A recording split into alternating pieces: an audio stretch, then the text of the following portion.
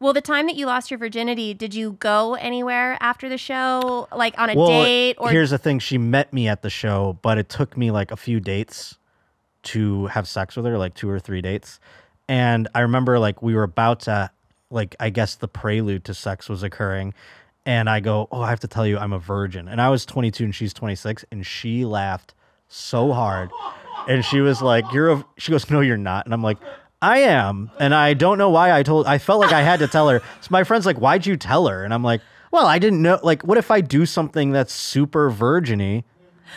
At least I have that as like a a bar there, you know, so I could suck completely." She was like, "Well, it was his first go at it, you know." yeah. So I mean, she she was like, "Well, I'm not gonna take it tonight because I have to like sit with that information for a second. So then we she waited till the next date, Oh and it was yeah, it wasn't the, the best time, but man, I'm a creepy ass bitch. If someone told me they were a virgin, I would just like, you'd be into it. oh yeah, I'd be like, I'm about to teach you some Well, lessons, so baby. The next time, and it's been a, a subject of lore in the Your Mom's House universe, but so the first time we had sex, I did not come.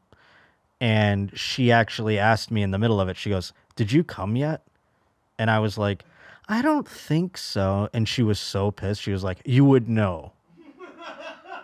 And I'm like, Well, then no.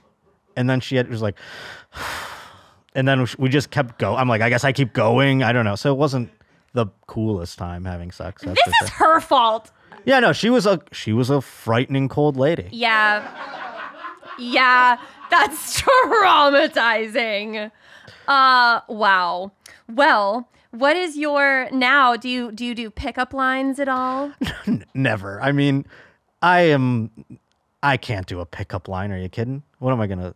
I can't even come up with one in my brain right now. Like, no pickup lines. If I were to, I, I just, my pickup line is like, hey, and I look at my shoes,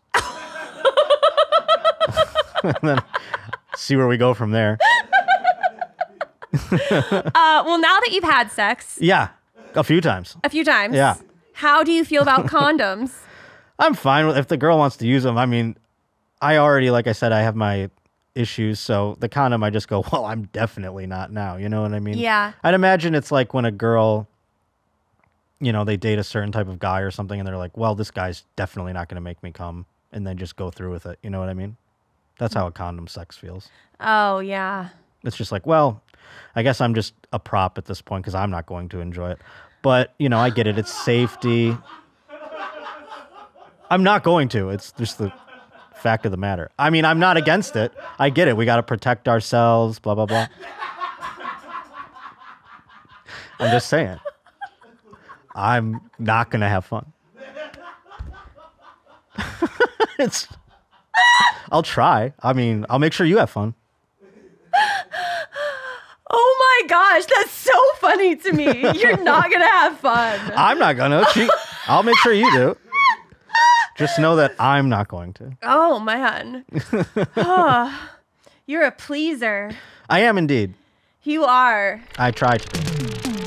First date, baby. Are you really drinking a glass of milk with dinner? First date, I can't wait. You told your mom about me? Just say you're ready. Delete my number.